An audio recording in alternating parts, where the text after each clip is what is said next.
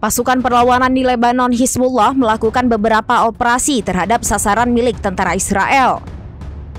Puluhan tentara rezim Zionis dilaporkan cedera seusai serangan itu. Serangan ini dilakukan Hizbullah pada Selasa 6 Agustus 2024 di perbatasan dengan Palestina yang diduduki dan wilayah utaranya. Hizbullah mengaku telah menargetkan markas pertahanan udara dan rudal di Barak Kila. Serangan dilakukan menggunakan puluhan roket Katyusha. Aksi dilakukan membalas pembunuhan oleh Israel di kota selatan Mifidon. Dengan peluru artileri, perlawanan menargetkan kumpulan tentara pendudukan di Bukit Karantina.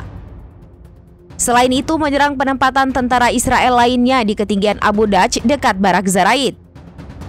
Sebelumnya, perlawanan melancarkan serangan udara melalui satu skuadron drone serbu menargetkan markas besar Brigade Golani dan markas unit Egos 621 di Barak Syaraga.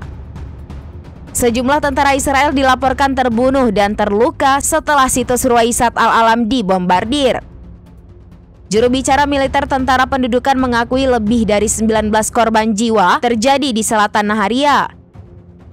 Menurut media Israel, saat ini para pemukim menderita serangan kecemasan.